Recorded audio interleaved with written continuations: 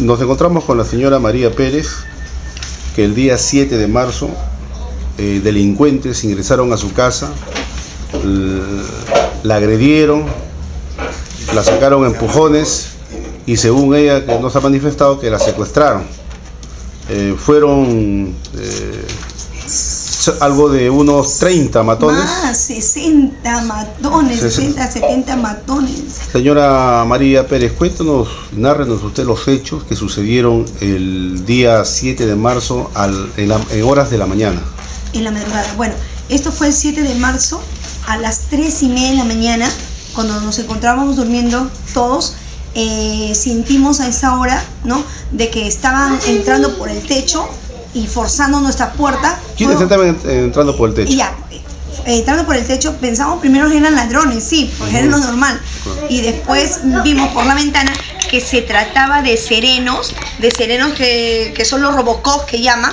Entonces entraron, nosotros decimos, ¿qué es lo que pasa? Porque mi esposo abre la segunda puerta de acá, de donde está el dormitorio, salimos y le decimos, ¿qué es lo que están haciendo? Que ustedes no pueden entrar a mi casa porque primero no tenemos orden judicial, segundo no teníamos ni un proceso con ellos, no habíamos cometido delito alguno. Y entonces lo único que atinaban era sacarnos a golpes, los sacaron a golpes a mi esposo, me sacaron golpes a mí, entonces yo me regresé por mis hijos, ¿no? Sí, por mis hijos. Ellos no permitieron que yo sacara a mis hijos, a mis hijos los encerraron, ¿sí?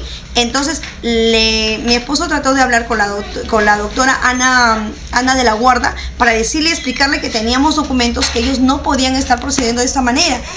Entonces ella dijo, no, no, no me interesa, sáquenla, sáquenla con fuera, sáquenlo, sáquenlo. Eso es lo que uno dijo. Cuando usted habla de la señora eh, de la Ana- Guarda, Ana María la de la. Guarda, es la abogada, la representante coactiva de la Municipalidad de San Martín de. Porres. Y entonces yo cuando le digo eso, ¿por qué hace ella? Y ella me dice textualmente, me lo dice en mi cara, esto es orden de terneros.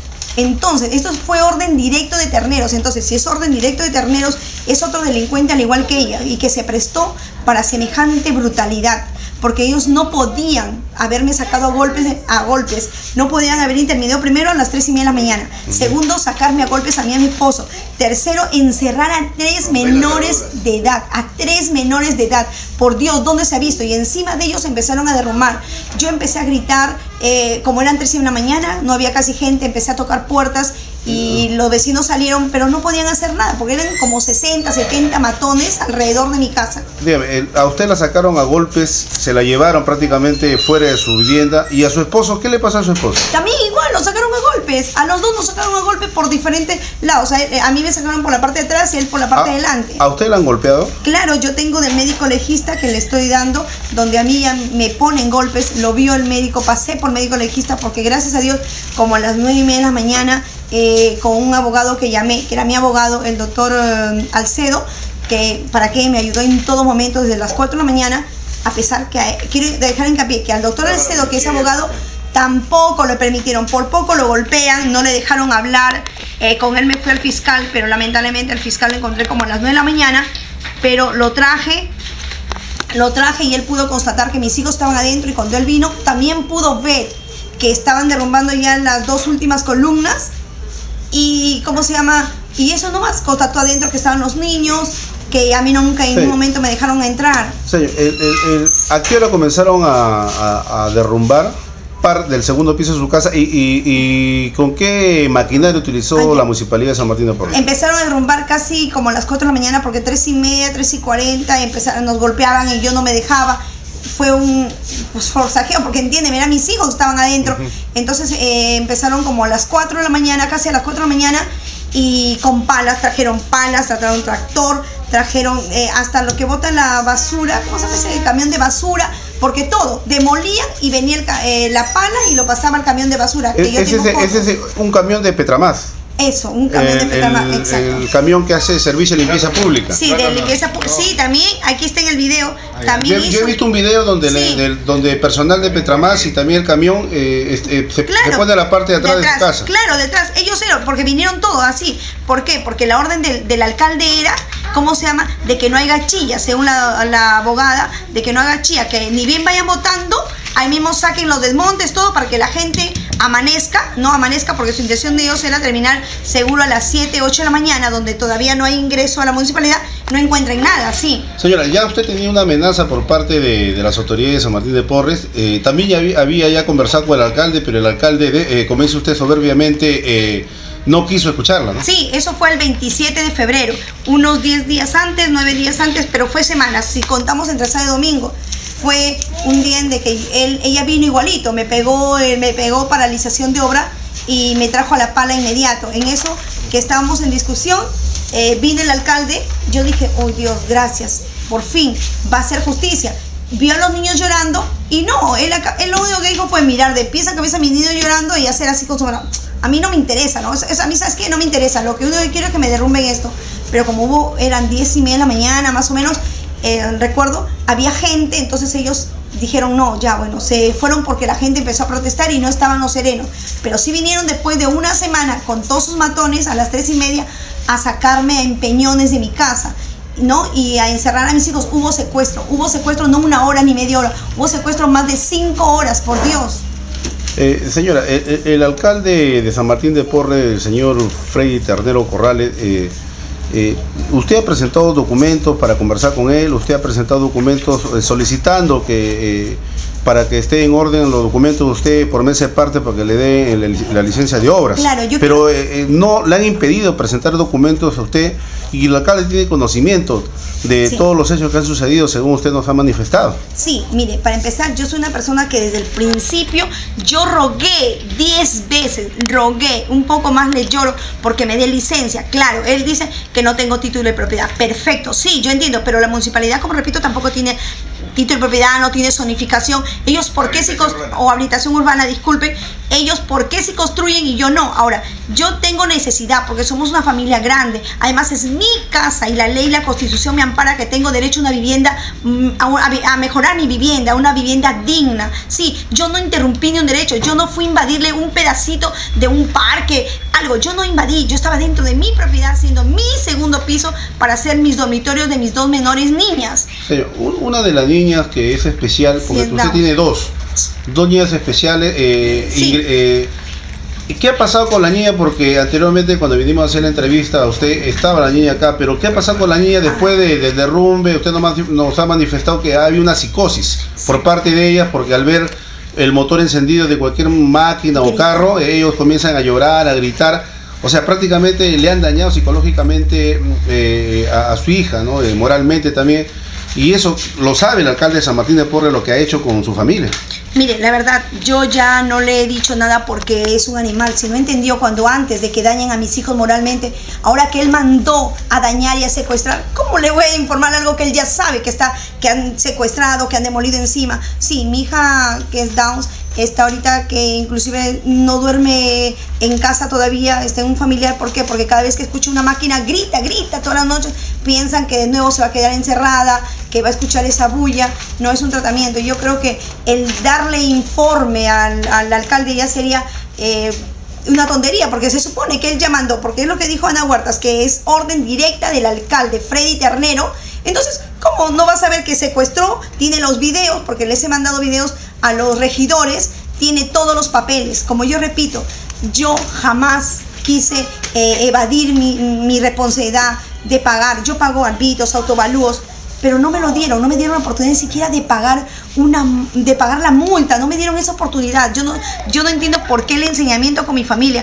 Yo yo yo estoy segura de que él ha hecho esto para que él diga, "Miren, si salgo re re re elegido porque él es así, él, él se acomoda siempre con el partido que mejor está está puntero, porque ahí se matricula, porque él no tiene un partido, no, no, no tiene ideología fija. Sería un tránsfuga. Ese es más tránsfuga que aquí. Imagínense, no no respeta los derechos de los niños no respeta a la familia, no la respeta. ¿Tú crees que iba a tener una ideología? Él no tiene, él no tiene nada. Él sabe que él lo que quiere es demostrar a todos, es decirles, mire, le derrumbé acá.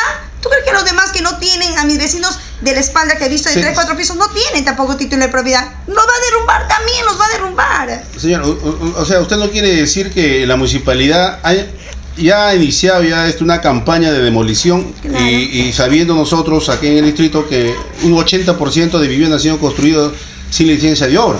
Entonces sería prácticamente como ha manifestado el señor este, Miguel Silva, sería eh, eh, prácticamente una campaña de demoliciones de casa y sería parte de, una campaña del terror en San Martín de Porres. Sí, él de hecho que ya es el terror en San Martín de Porres porque yo he escuchado a varias personas cuando fuimos a lo que hizo eh, la Universidad César Vallejos, también tuvo denuncias horribles, así y de apropiaciones ilícitas. De verdad que él es un peligro latente para nosotros. Nosotros eh, tenemos que gritar a todos a una sola voz, Ternero nunca más, Ternero nunca más, Ternero debe irse a, su San Borja. ¿Tú crees que haría eso con lo de San Borja, Monterrico? ¿Cree que porque somos gente humilde, ah, gente, gente que vivimos acá, somos de lo peor? ¿Qué le pasa? ¿Qué, ¿Qué cree que nosotros no tenemos derecho a una vivienda digna, que no tenemos derechos a que se nos respete lo que la Constitución y los derechos internacionales dicen, el derecho a, nuestra, a, la moral, a, vivir dignamente, a los niños, ¿dónde están los derechos de mis hijos?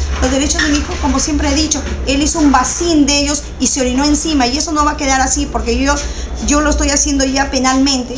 Pero por favor, yo invoco a toda la gente que tome conciencia. Esto no es un chiste, esto no es una gracia. De repente porque no te toca a ti. Pero espérate, si sale él, seguro que también te va a tocar a ti. Entonces yo pido por favor... Usted está haciendo un llamado a todas las madres de familia del distrito que tienen hijos. Sí. Que tienen hijos porque eh, San Martín de Porres, eh, no todos los, lotes o las viviendas tienen título de propiedad. Y tampoco, como le vuelvo a, manifestar, eh, más del 80% de vecinos han construido en los años 70, 80 sin licencia de obras. Sí. Entonces, se sería prácticamente eh, preocupante que a usted le haya sucedido este, este caso muy lamentable y que usted estaría solicitando el apoyo de todas las mujeres sanmartinianas para que defiendan eh, los hogares? Sí, yo por favor, yo me quiero convocar a todas las madres como yo, que yo sé que ellas me van a entender lo que significa para una madre no poder apoyar a sus hijos cuando estos le dicen ayúdame y no lo pude hacer, no lo pude hacer, no pude ayudar a mis hijos porque lamentablemente eran 70 matones. Eh, mandados por ese alcalde Terneros de la Municipalidad de San Martín. Por favor, yo pido a ellas, a ellas como madres, que se solidaricen conmigo, que le digamos a él y a todas las autoridades que quieran cometer abusos con nosotros, no, nunca más, nunca más, que no lo vamos a permitir jamás, que nosotros eh, somos unidas, que nosotros sí protegemos a nuestros hijos, que si la constitución no lo hace, nosotros sí los protegemos, nosotros sí vamos a tener a darle los derechos que nuestros hijos se merecen. Eh, usted, el, eh, el, mes pasado eh, hubo una audiencia pública del Diario del Comercio. Había más de 500 personas participantes, el fiscal de la Nación, estuvo el presidente de la Corte Superior de Lima Norte, los fiscales anticorrupción, personalidades, abogados y público en general, y dirigentes vecinales, más, lo, más importante, que escucharon de todo Lima Norte. Usted ahí tuvo la oportunidad también de hacer su denuncia. Su, denuncia y, estas autoridades eh, a ustedes lo han escuchado y también se han solidarizado con usted. Eh, usted me dice que eh, ha hecho la denuncia correspondiente, el fiscal ha venido, ya la policía tiene ya conocimiento y van a comenzar a hacer una investigación para que caigan los responsables de este abuso que usted ha sido pues víctima de este abuso lamentable de secuestro, allanamiento, porque la municipalidad de San Martín de Porres tiene fama de que no respeta los derechos de los vecinos, no respeta la libertad de prensa, persigue a los opositores, golpea, agrede a los opositores y también lo denuncia penalmente a los opositores. Entonces, no es fácil enfrentarse a esta municipalidad de San Martín de Porres porque los anteriores gobiernos municipales han sido corruptos la mayoría por la denuncia que han tenido y esto se parece, la municipalidad de San Martín de Porres eh, también tiene denuncias por agresión.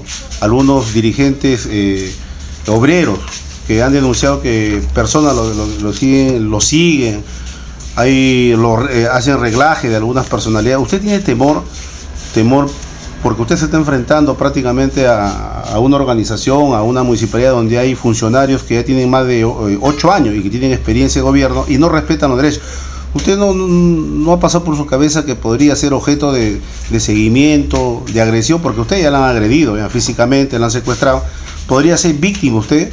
Y que este gobierno municipal de San Martín de Porres se pueda parecer al gobierno de Ancas, de, Álvarez, presidente regional de Ancas, donde mueren, lo, mueren ¿cómo se llama?, los consejeros opositores, mueren los candidatos, como se llama, que están en contra del gobierno regional, vecinos, dirigentes que se oponen al gobierno regional de Ancas eh, aparecen muertos, son denunciados y, la, y, la, y, el Poder Judicial no, no hace, de repente no cumple con sus funciones como debería ser de dar justicia, en este caso, a la gente más humilde. ¿no?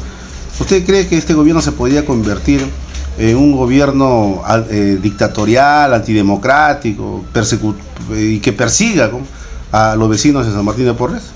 Mire, sí, yo sí tengo miedo, tengo miedo, pero ¿sabe qué?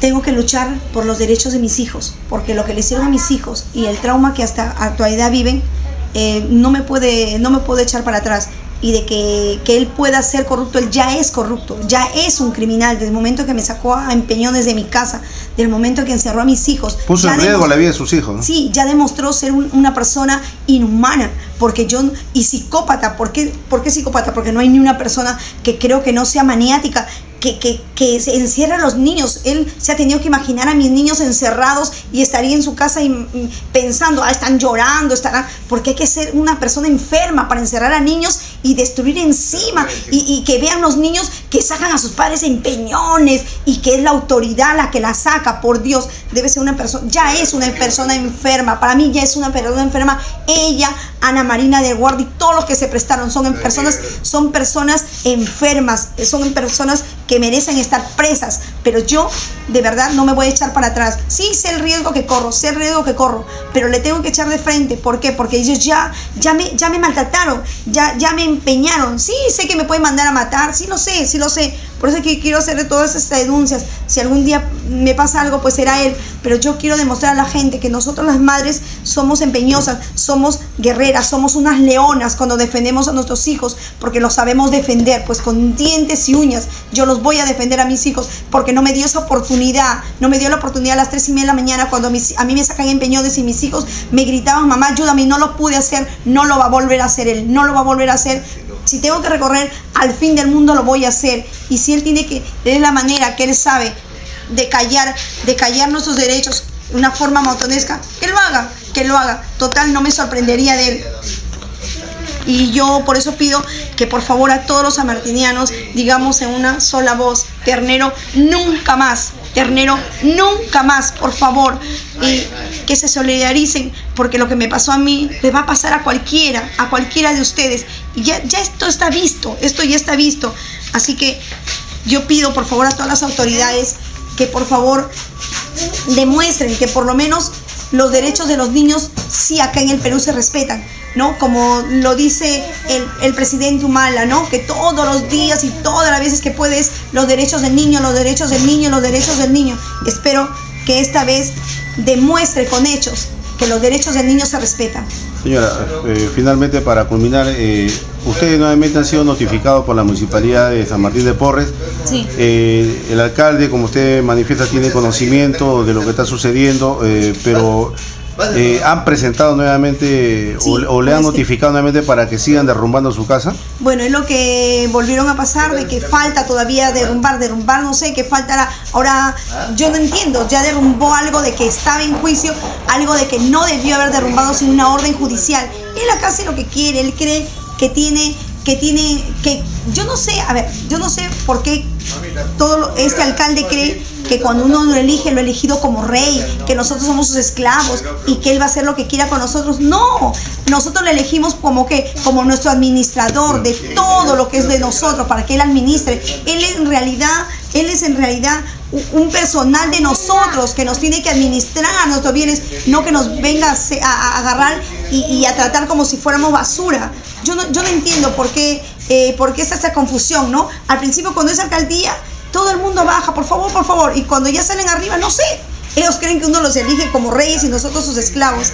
Yo por eso pido por favor a todos los amartinianos como repito, a una sola vez, a una sola voz, ternero, nunca más, nunca más. Y por Dios, ya los partidos políticos que tengan dignidad, ¿cómo, lo van a, cómo van a poder poner o respaldar a una persona así, una persona que ha demostrado ser inhumana? Uno. Y dos, que no tiene ni siquiera algo, una, políticamente, ni siquiera tiene tiene un, candidato fijo, no es fijo, yo soy de este partido y la lucho. No, él es un convenido más, donde él ve las encuestas, porque él está, él está acostumbrado así. A ver, él se escribe a última hora, si se han dado cuenta y todo el mundo lo puede decir, última hora. Ya, ¿quién va puntero? ¿Quién va a la Es allá, él va con su millón, dos millones y los partidos le reciben. Por Dios, ya demuestren los partidos que tienen dignidad, que no dicen ellos se llenan la boca de que todos sus candidatos son dignos. Espero no verlo en ningún partido, porque si no, el partido que lo reciba, porque yo quiero dejar en pie que a todos los partidos políticos los estoy pasando los videos donde él me saca en peñones y encierra a mis hijos. Tengan dignidad y no lo reciban. Muchas gracias, señora María Pérez.